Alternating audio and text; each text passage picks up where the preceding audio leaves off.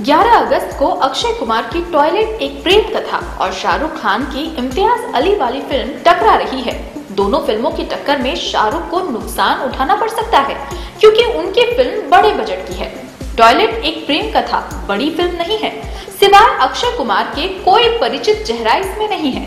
ये फ़िल्म जून में रिलीज़ होने वाली थी, लेकिन रमज़ान का महीना महत्वपूर्ण क्रिकेट मैच के चलते इसे अगस्त में शिफ्ट कर दिया गया। इस टक्कर में ज़्यादा फ़ायदा टॉयलेट को ही होना है। ये बजट के मामले में शाहरुख की फ़िल्म से बहुत सस्ती है। पाँच दिन के वीकेंड का इसको फ़ायदा मिलेगा। दो फ़िल्मों की टक्कर होने के कारण फ़िल्म को अच्छी पब्लिसिटी मिलेगी। अक्षय कुमार का सितारा इन दिनों खूब चमक रहा है। टॉयलेट के पास खोने को ज़्यादा नहीं है। दूसरी ओर शाहरुख को एक सुपरहिट फ़िल्म की सख्त ज़रूरत है। उनकी फ़िल्म बड़े बजट की है। इसे बॉक्स ऑफ़िस पर ज़्यादा अच्छा प्रदर्शन करना होगा। दो फ़िल्मों के एक ही दिन प्रदर्शित होने से थिएटर बंट जाएँगे। शाहरुख को अक्षय की फ़िल्म के साथ स्क्रीन शेयर करने होंगे।